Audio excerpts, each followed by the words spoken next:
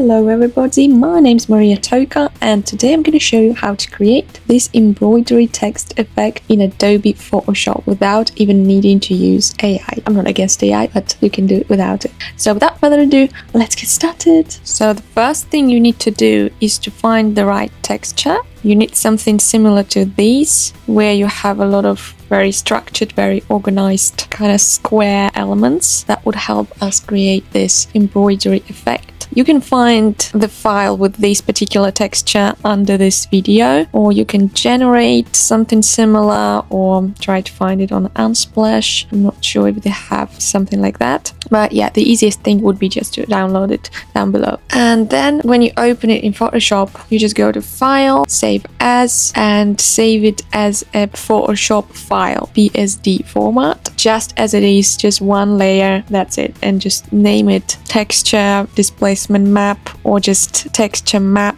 If you add the word map to it, it will be easier to find. And just save it. After you did that, you just go to File, Save As again, and save it with a different name. I already saved it as woven fabric texture. So you basically would have two files saved separately with the same image. But we're gonna work with this one, woven fabric texture. So for those of you who are using different texture, not this particular image, I can show you the image size. It's roughly 131, 139 centimeters, 72 pixels. If you want to repeat the exact same process, so you won't be confused. The next thing we need to do is to type our text. I particularly like a black letter style, or I think anything Celtic or medieval would work really well. It's really trendy now, and I'm gonna do it even bigger. And the next step would be to create a black layer underneath this text layer. So I'm just pressing this plus button. Mm-hmm. I'm dragging it underneath the hello layer and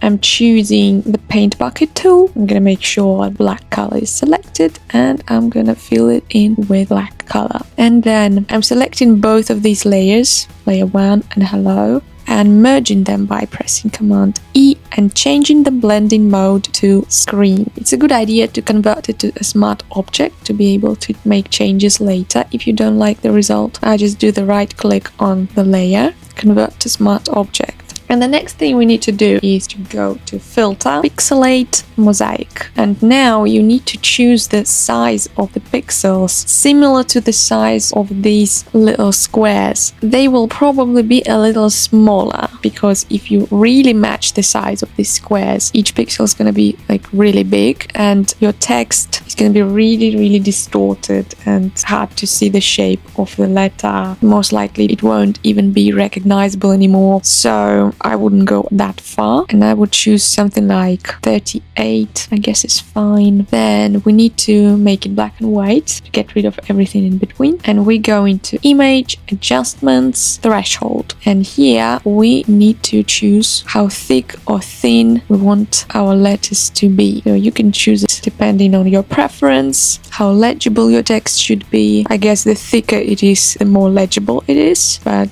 obviously it's to lose all this delicate shape of black letter font so I'm to make it a little bit thinner. Probably something like this 156 is fine. All right I guess you can still tell what this word means. But that's not it. In terms of manipulations the next step would be going to filter. Oh the layer should be selected. Filter distort displace I think 12 by 12 is a good number for this particular format, but you need to try it and it might be too subtle for you or maybe even too much. So it's a trial and error. But if you repeat exactly the same process as me and you're using my file, you'll be okay with these numbers. Okay, and here we're choosing that file that we saved in the beginning of this video, which I recommended you to name with the word map in it, texture map open and it's gonna apply displacement and yeah just look at it. Now it looks a lot more integrated into that texture. And the last step would be show this woven texture on the letters themselves. And in order to do that we need to select the text. And for doing this we choose the magic wand tool this one. Yeah. The layer should be activated. Don't forget about that. And we're clicking anywhere outside of the text anywhere on the background. And that way we just selected everything else apart apart from the text. Yeah, but also in our case, the area inside of the O is not selected, but it's still considered as a background. So we need to additionally select it by holding shift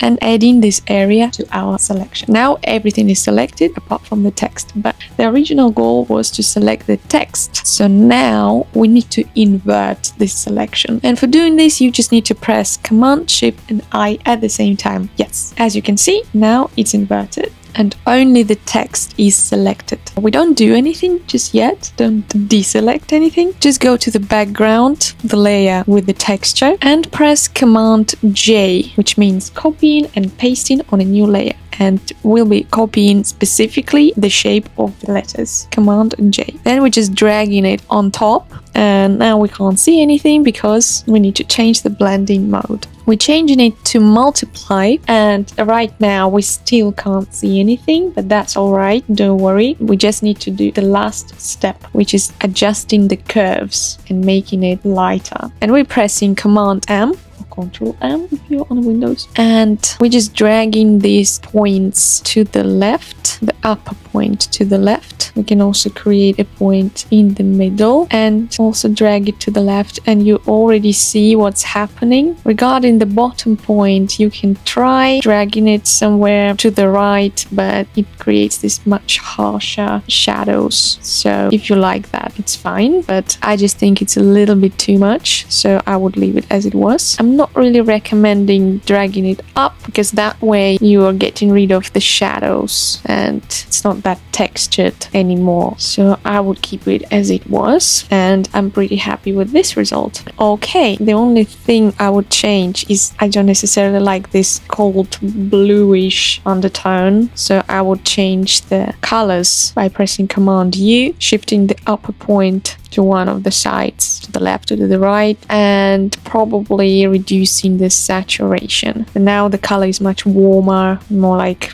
beige, brownish tones. Okay, and this is pretty much it. I hope you like the result. I've noticed it's a really popular style right now for posters, especially when you want to create some medieval or some very classic design with these gothic black letter fonts. I hope you enjoyed this tutorial and you try it yourself. Don't forget to tag me on Instagram or send me a DM or just let me know you did it. Check out my other tutorials on Photoshop, Illustrator, Adobe Firefly, stuff like that. That would be really helpful if you like this video, if you find it helpful or you enjoyed it. Subscribe to this channel and see you guys next time. Bye!